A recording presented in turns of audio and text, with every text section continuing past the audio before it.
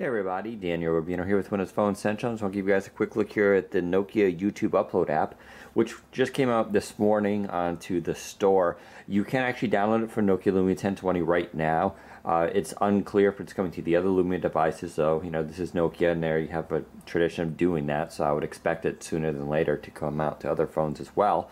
Uh, anyway, so let's launch it here.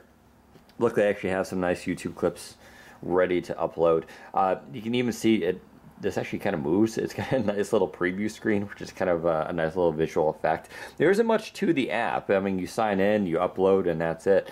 Um, we'll pick a new video here, and so this brings it up, and then you can actually jump in and go and play it with the native video player in the app. Otherwise, you can do attributes, so we can call it test uh, it does have a private mode on, so no one will be able to see your videos, and that's on by default, which is a good privacy setting. We appreciate that. Other than that, you just hit upload.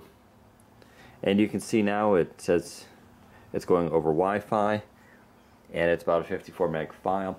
So yeah, this obviously does upload at full 1080p. You're not going to lose any resolution. Uh, we did it before for another video, and it worked perfectly we got all the information and it was just a straight upload.